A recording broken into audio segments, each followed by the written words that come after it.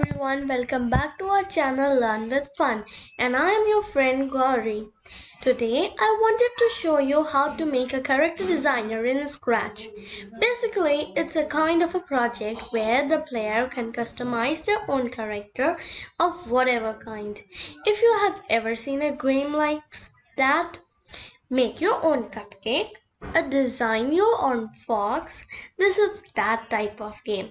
And by the end of this video you'll be able to make your own game like this. So let's get started. First let's pick what you want the theme of your project to be. Do you want to design your own cat game or design your own dragon or design your own outfit. It can be anything you want.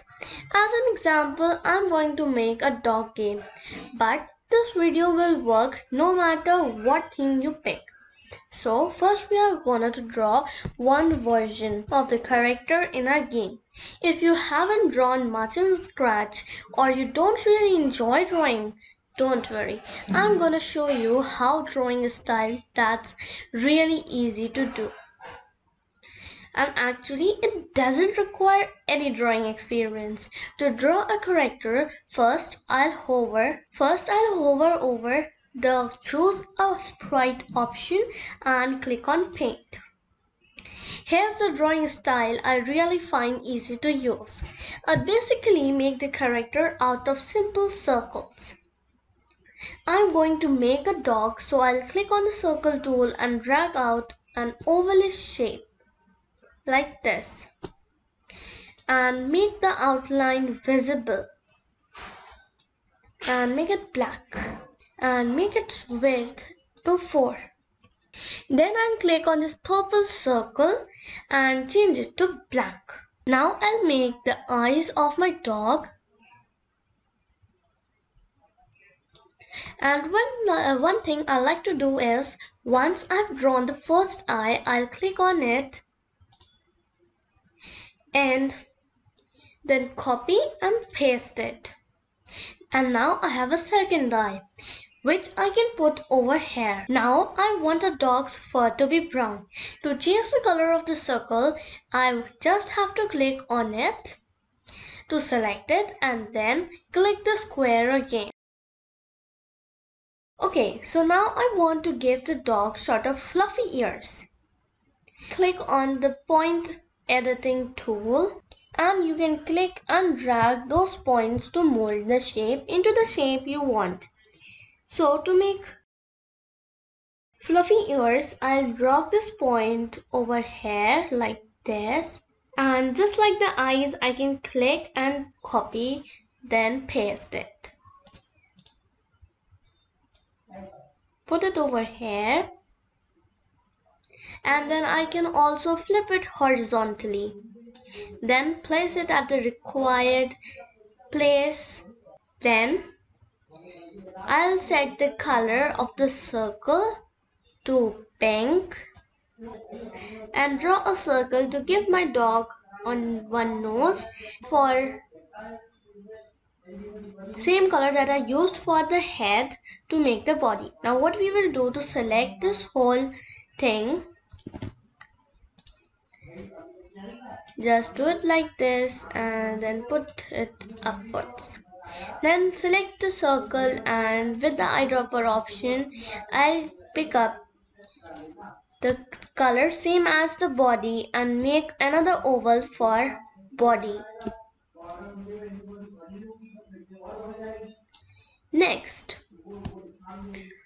I'll again go to point editing tool and then dragging those points I'll look my dog sitting. Then I'll just backward it. And then I'll get my dog one tail. Again I'll take the basic shape circle and with the point point editing tool I'll make my tail for the dog. And then I can just bring it over here rotate it a little and then send it backward.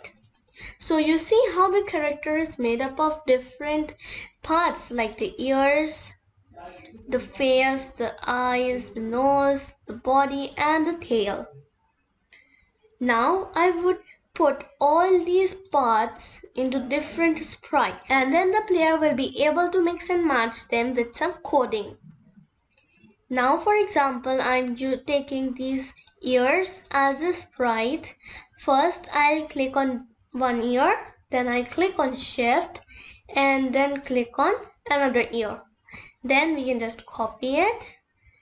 Over on choose a sprite, click paint and paste it. Next, I'll first rename it as ears. Then I'll take the eyes and the nose. Now, these parts are all away like this and I don't want it to be. I want it to be like this, joined and at the center. So now we don't require our basic figure of the dog. So we'll just hide it like this. And though all these parts are moved away from their original place, it's really simple to make them back. First, I'll rename all of them. And that's it. First, we will go on body and then we'll click on go to x coordination as 0 and y coordination as 0. This is the original point. Then we'll go to events and when the green flag click, it will go to the original place like this. And then motion, then we'll go to random position. Instead of this, we'll go to body, then events block and when green flag click. We'll send this to each and every part like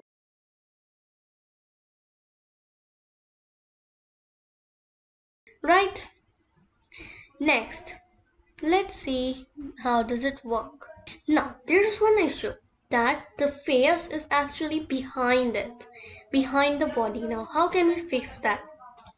It's really simple. We'll go on looks and then go to front layer and then see it's back. Next we will go to costumes tab and then create duplicate of it and we will create different example of this ears different ears for the person to change the character for his dog. So for example, if we fill it with black color and we create another one, then we'll go to circle, create the circle and then we'll go to point editing tool and just like the body of the Dog we'll create ears. Then we'll select this ear, make it a little bit tilt, shrink the size, and then copy it and paste it to bring the second one. Then you can flip horizontal and then click both of this, just them We'll not move it from here, otherwise it will create an issue. The player, when clicking on the ears, change all these costumes. It's really easy. We'll go on the code tab and then in the looks button, we'll click next costume see? Like this. And we want this to happen when the ears are clicked or this sprite is clicked. So we'll go on events block and then when this sprite is clicked then go to next costume. For example let's see does it work or not? It's working. Then we'll choose the backdrop. We can choose any backdrop I'm choosing a stripes. Now we'll create the next and different options. And now we are done. This is one example. And this is a dog game which we made today. Like this Thank you for watching this video. If you liked it, don't forget to hit the like button. And if you are new to this channel, don't forget to subscribe it.